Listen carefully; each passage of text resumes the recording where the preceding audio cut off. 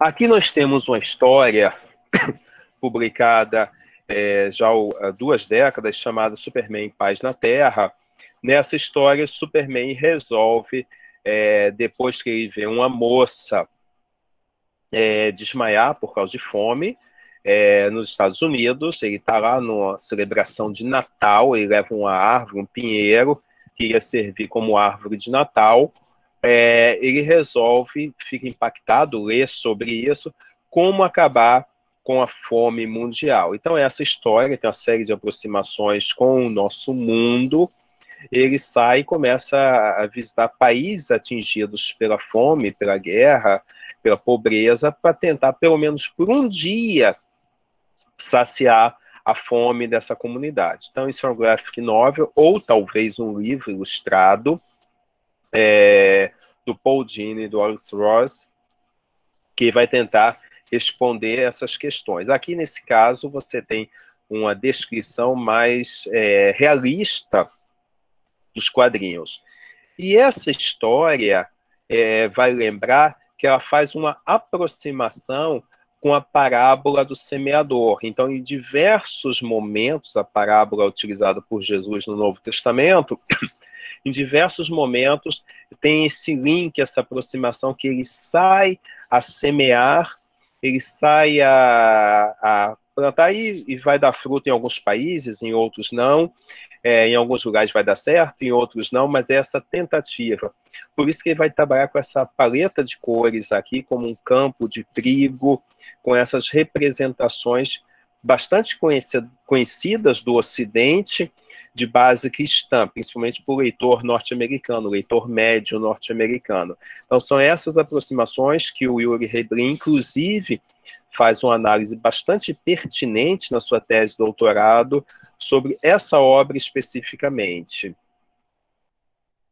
É, e aí Oliveira vai falar é, sobre a questão da elipse. O quadrinho, essencialmente, ele é formado de elipses. O que, que são as elipses?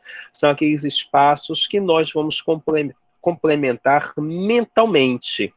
Um exemplo que ele vai citar de forma bastante particular, que, que eu vou comentar logo em seguida, é como a elipse vai aparecer em diversos quadrinhos, em especial Batman Cavaleiro das Trevas, dos anos 80, do Frank Miller, uma imagem que eu separei aqui que ela se tornou tão emblemática que ela passou a ser utilizada e repetida exaustivamente, inclusive no cinema. Ele diz assim: a elipse, como esse recurso de linguagem, que é parte da nossa discussão, é um elemento essencial da, da narrativa quadrinística, em que parte da ação é suprimida e completada pelo leitor. Esse papel, aquilo não está dito, minha mente precisa completar.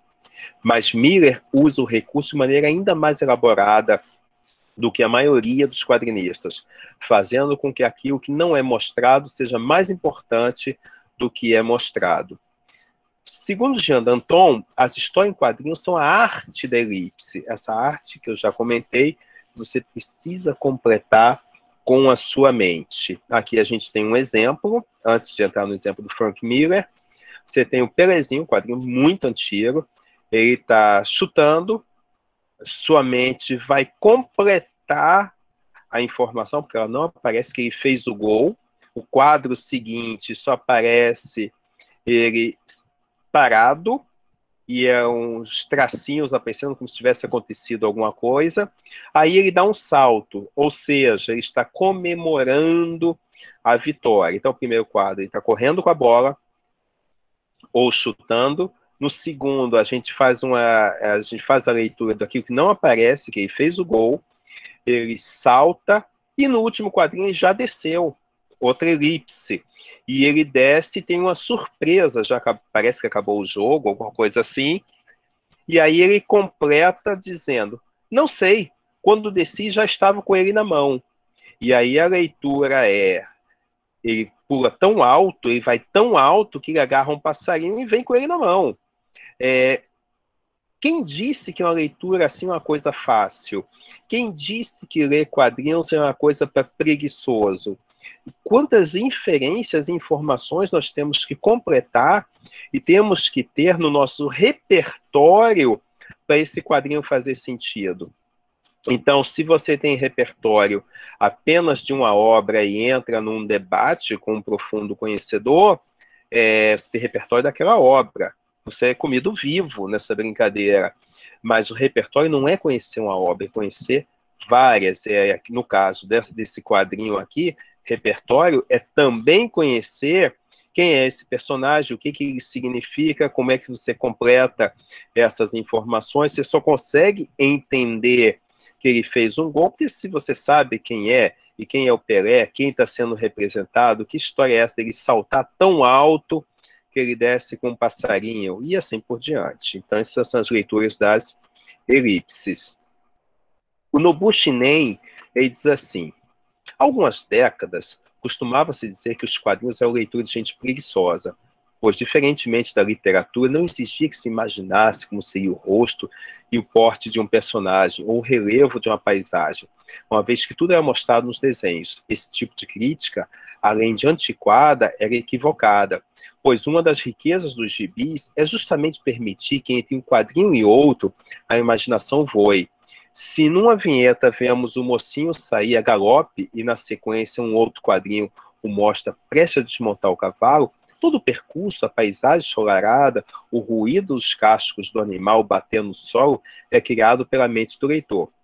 Se a arte de contar uma boa história em quadrinhos depende da habilidade em selecionar cenas certas, saber o que não mostrar é também fundamental. Então, essa é a arte da linguagem dos quadrinhos. Não só o mostrar, como também não mostrar determinadas cenas. Aí eu brinco com um personagem lá da Mafalda, que diz assim: a preguiça é a mãe de todos os vícios, mas uma mãe é uma mãe e é preciso respeitá-la. Pronto. Aquele humor ácido, maravilhoso da Mafalda. Vejam essa cena é, de Batman, o Cabelo das Trevas, do Frank Miller, anos 80. É, o Bruce Wayne está aqui assistindo televisão com controle remoto, de repente, na mente dele, ele relembra é, o, colar de pérolas da sua mãe sendo retirado pelo assaltante. Na sequência seguinte, a arma próxima. É, uma mão protegendo o menino, empurrando ele para trás, caindo.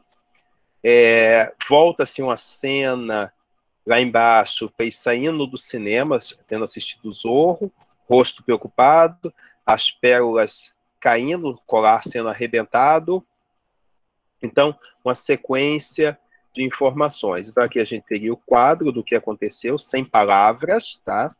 É, do assalto, a bala atingindo, ele caindo, colar de pérolas sendo arrebentado, e as pérolas vão caindo. Então, aquilo que duraria um, dois ou três segundos, aqui é narrado quadro a quadro. Isso, para quem assistiu, por exemplo, Batman, o Cavaleiro das Trevas, a gente vai encontrar, por exemplo, nessa cena sendo repetida exaustivamente, e o cinema faz isso, repetindo essa cena em que as o colar é arrebentado e elas vão caindo na sua narrativa.